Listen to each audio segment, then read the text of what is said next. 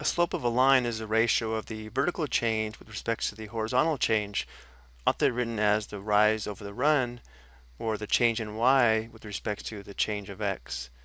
If we're given two points on a line, we can determine the slope of the line given this formula here, where we compare the change in the y coordinates with respect to the change in the x coordinates.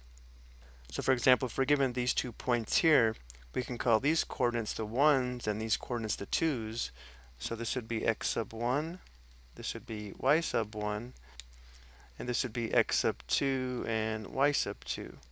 And now we can apply the slope formula.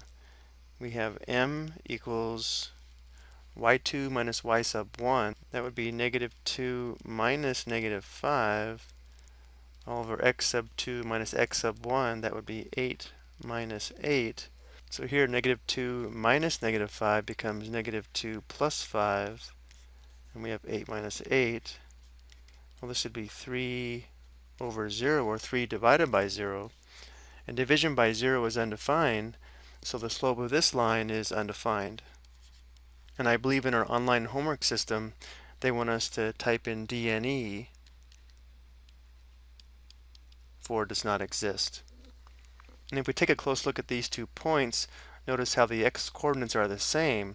So if we look at the graph of this line, it would look like this, and we can quickly recognize that this is a vertical line, in which we said the slope was undefined. And again, if we think of the slope as the ratio of the vertical change to horizontal change, if we wanted to move from this point to this point, notice how the vertical change would be positive 3, but the horizontal change would be 0, again giving us a slope of 3 divided by 0, which is undefined. Let's take a look at a second example. Again, we're given two points, so we'll call these the 1s, x sub 1, y sub 1, and these the 2s, x sub 2, y sub 2. And then we'll go back to the formula. So we have y sub 2 minus y sub 1, that's going to be negative 6 minus negative 6 all over x sub 2 minus x sub 1, or negative 1 minus 4. Well, this is going to end up being negative 6 plus 6 all over negative 1 minus 4. That's negative 5. But here, notice that negative 6 plus 6 is 0. 0 divided by negative 5 is equal to 0. So the line passing through these two points actually has a 0 slope.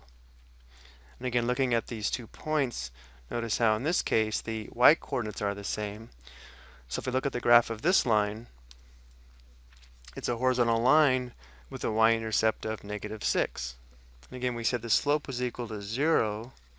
And the reason it's 0 is if we wanted to move from this point to this point, notice how the vertical change in this case would be 0 because there's no vertical change, but the horizontal change would be 5, and the ratio of the vertical change to horizontal change would be 0 over 5, or 0 divided by 5, which does give us 0.